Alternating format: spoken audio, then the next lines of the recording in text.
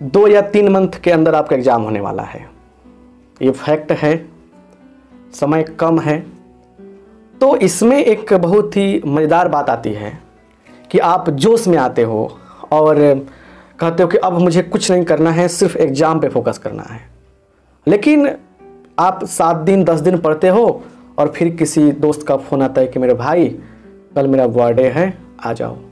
और आप birthday celebrate करने जाते हो। किसी का मैरिज एनिवर्सरी है, जिसको वेडिंग एनिवर्सरी भी कहते हैं, है ना?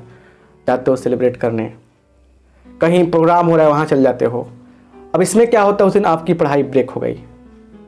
तो ब्रेक हो गई तो उसके बाद फिर अगले दिन उसको फिनिश करना चाहोगे। लेकिन ब्रेक से घाटा ये होता है कि आप बहुत सारा चीज़ भूल जाते हैं।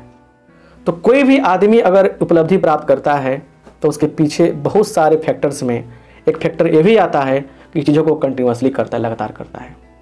तो कम से कम एग्ज़ाम टाइम में आप इन चीज़ों को त्यागिए, कुछ चीज़ों को इग्नोर कीजिए, है ना? ताकि आपको मेंटली प्रेशर नहीं हो। क्योंकि सारा खेल आपके माइंड का, और माइंड ही खराब हो जाएगा। माइंड डिस्ट्रैक्ट हो जाएगा। तो फिर मतलब दिक्कत हो जाएगा। तो सबसे बड़ी बात यही है, आपको कहना चाहेंगे कि अगर आपका एग्ज़ाम मात्र 45 डेज़ बाद होने वाला है तो सबसे पहले एक प्यारा सा रूटीन सेट कीजिए कि आपको 40 डेज़ तक 40 डेज़ तक आपको सारे सब्जेक्ट पढ़ने हैं।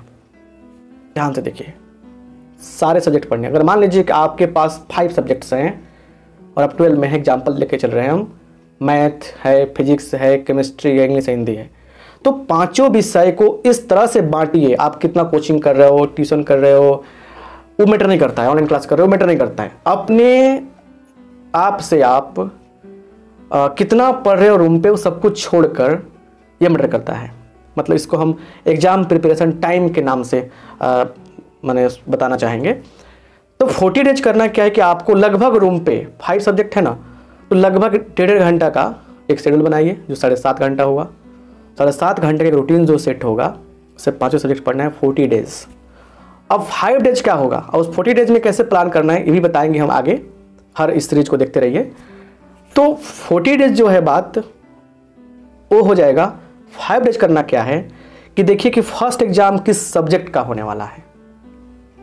उस फ़र्स्ट सब्जेक्ट को फाइव डेज़ लगातार कंटिन्यूसली फोकस करके पढ़ना है। अधिक से अधिक, है ना? और इन सब सब्जेक्ट को कम कम हो सके तो पढ़िए या इग्नोर कर दीजिए।